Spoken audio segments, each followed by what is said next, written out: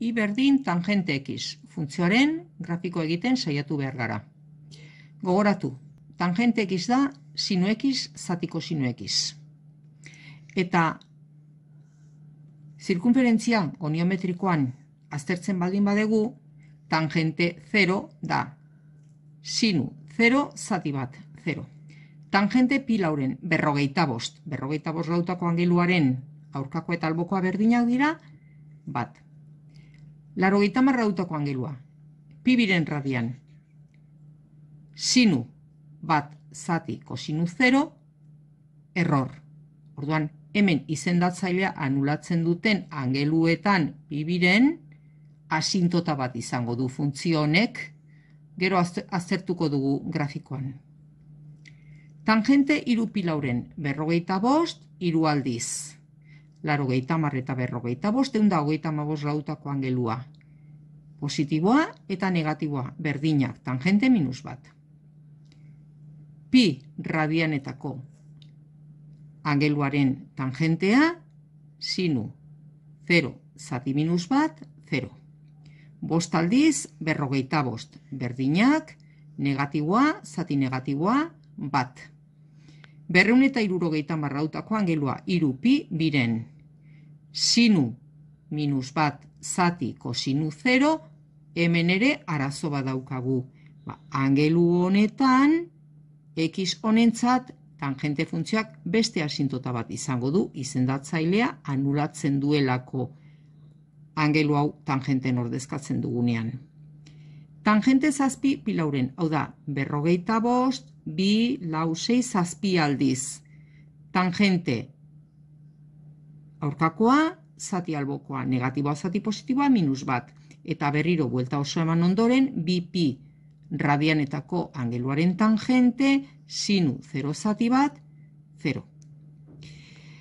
Ikusten dugu, tangenten e, balioak kalkulagailuari eskatzen diogunean, edo zer motatako balio ematen du, hau da, tangenten balioak mugitzen dira minus infinitotik infinitoraino. Tangente dago aurkakoa zati albokoa e, pizkatua maldarekin lotuta. Eta aurkakoa haundia denean eta albokoa txikia tangentea haundiagoa da.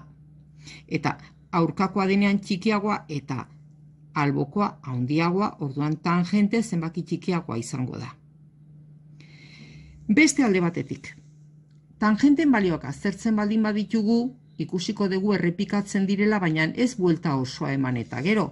Baizik eta tangente 0, 0 da, eta eundalaro gehi gradu ezartzean pi ondoren tangente pi berriro 0 da.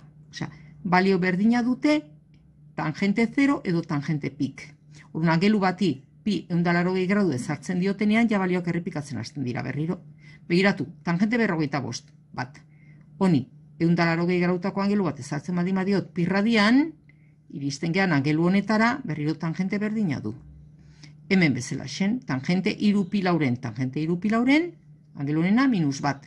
Bale ba, eundalaro gehi ezartzean, tangente irupilauren gehi eundalaro gehi edo gehi bipi, angelu hau daukagu eta tangente berdina daukagu.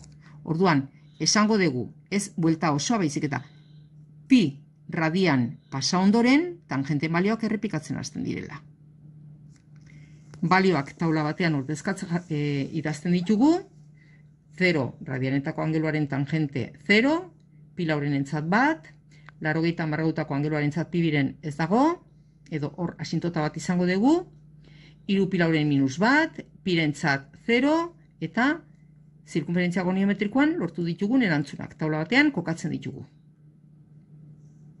Bueno, tangenten grafiko ez da bat ere erreza, orduan hemen aurrez aurre jartzen dizuet. Ikusten duzu hemen marra batzu daude asintotak. Bueno, esan dugu asintotak e, zeudela. Laro gehi tamar rautako angeluaren zat, laro gehi tamar. Hau da, pibiren, hemen 0 rautako edo 0 radianetako angelua. Pibiren, eta gero, beran, iru angelu zuzen ondoren, hau da, iru pibiren, berrun eta iruro gehi tamar rautako angeluan ere, beste asintota badaukagu. Hau da, Bien artean, biangelon artean, tarte bat dagoen tarte hori, baliok errepikatzen diren arten, pi eundalarogei grautako angelu. Hau tarte hauek, pi radian edo eundalarogei grautako angelu bat dute tarte bezala. Orduan, asintota vertikalak, e, esan dugu baita ere tangente 0 egiten zen, e, 0 gradutako angeluaren tangente zen 0, eta gero eundalarogei gradutako angeluaren tangente zen 0, ezta? Hau da, 0 gradutako angeluaren tangente da 0, eta gero pi eundalarogei gradutako angeluaren tangente da baita ere 0. Ondoren 0, pi, bi pi, iru pi, lau pi, eh? 0. Bueno, grafikoa horrelaterako litzeke bakar bakarrik asintotan kasuan, ezta? Bueno, enik zergati dakit grafikoa gorakorra dela. Ba, bida, hartu ezagun larogeita marra dutako angelua. Larogeita mar. Asintota bada, bale, baina asintota horren e, inguruan grafikoa nundik hasten da. Hemen minus infinito ondabil edo infinito ondabil. Ba, bida, larogeita mar gradutako angelua baina zertxo eta undiagoa den, hau da, larogeita mar koma 0 bat gradutako angelu hartzen baldin baduzu eta kalkulagailuari eskatu jozuetan jente minus bos mila zazpirun da hogeita bederatzi, osea, izugarizko zenbaki ateren zaizue. Oso, oso, oso beran dagoen zenbaki bat. Hemen, orduan, pi biren gradutako angeluaren ondoren grafikoa minus infinitotik hasiko litzeke igotzen, igotzen, igotzen, igotzen. Eta bere ezkerraldean eskatzen baldin badio zela, hogeita mar baina txikixegoa dan angelu batin, baten tangente eskatzen baldin badio ikusiko duzu, izugarri e, goran dabilela, bida laro gehieta bederatzi, koma bederatzi, bederatzi gradutako angeluaren tangente kalkulagailuari eskatu jozue, eta izugarriko zenbaki ateratzen da.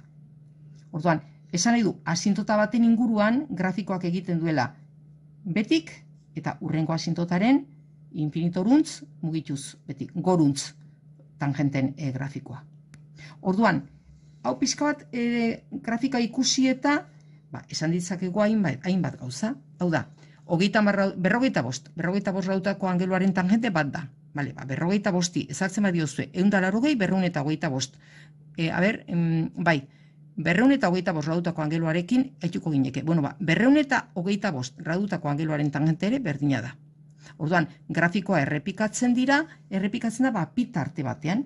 Ikusten duzu, ba, hemen, pi eundalarogei gradu daude, eta berriro eundalarogei gradu ondoren, er, grafika errepikatzen da berdin, berdin, berdin. Izateremua, izateremua da e, tangenten funtzioa existitzen du angelu guztientzat, ekiz guztientzat, ezik asintota dauden puntuetan. Asintota daude nun, bueno, asintota badago, behi da, bat aldiz pibiren, minus bat aldiz pibiren, iru aldiz pibiren, bost aldiz pibiren, zazpi aldiz pibiren, hau da, k pibiren e, moduko, ekiz berdin k pibiren moduko abzizatan daude asintotak, non k bakoitea da oso eta bakoitia. Eta ardatzekiko ebaki puntuak, babida, ardatzekiko ebaki puntuak daude e, i 0 tangente 0 balio duten abzizatan, ez da? Bueno, ba, tangente 0 da. Zeron, pin, bi pi, iru pi, o da, pi, eta pi, eta pi, eta pi, zarri ondoren, eundalaro gehi, eundalaro gehi, asita, hemen, tangente 0 da, 0, zati bat, hemen, 0, zati minus bat, 0, zati bat, orduan, 0, pi, bi pi, iru pi, lau pi, angeluetan. Orduan, 0 minus pi, minus bi pi, pi, bi pi, iru pi. Eh? Abfisa balioa duten puntuetan, tangente funtzioak dauzka, ardatzekiko ebaki puntuak, non ka zenbaki osoa da. Laburpena, grafikoa,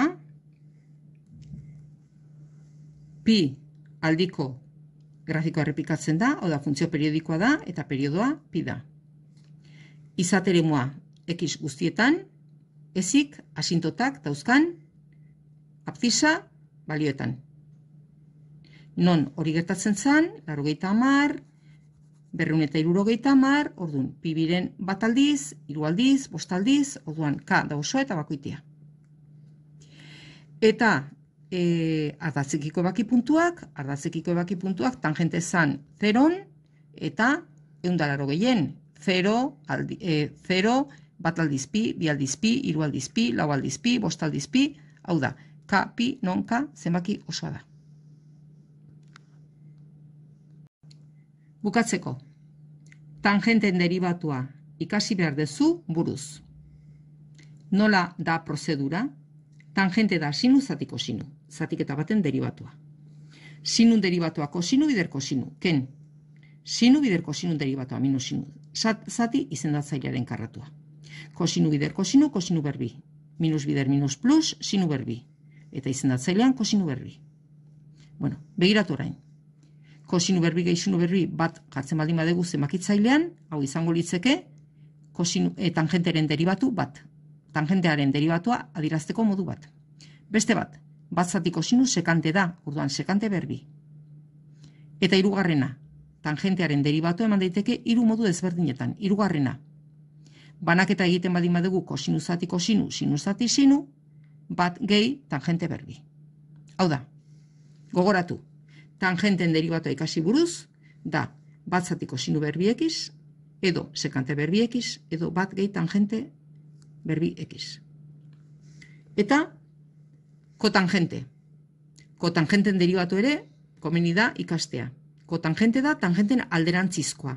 Hau da, kosinu zati sinu. Azten gara deribatzen, zatiketa baten deribatua.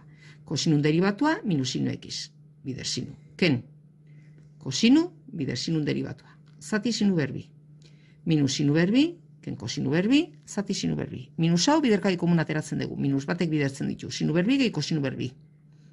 Eta hemen azten geha, kotangenten deribatuak ipintzen. Minus, sinu berbi gehi kosinu berbi bat da, minus bat zati sinu berbi. Edo baita ere, minus nola, bat zati sinu dan kosekante, ba, baita ere, minus kosekante berbi. Edo, hirugarren modua kotangenten derivatu e, e, azaltzeko izango litzeke.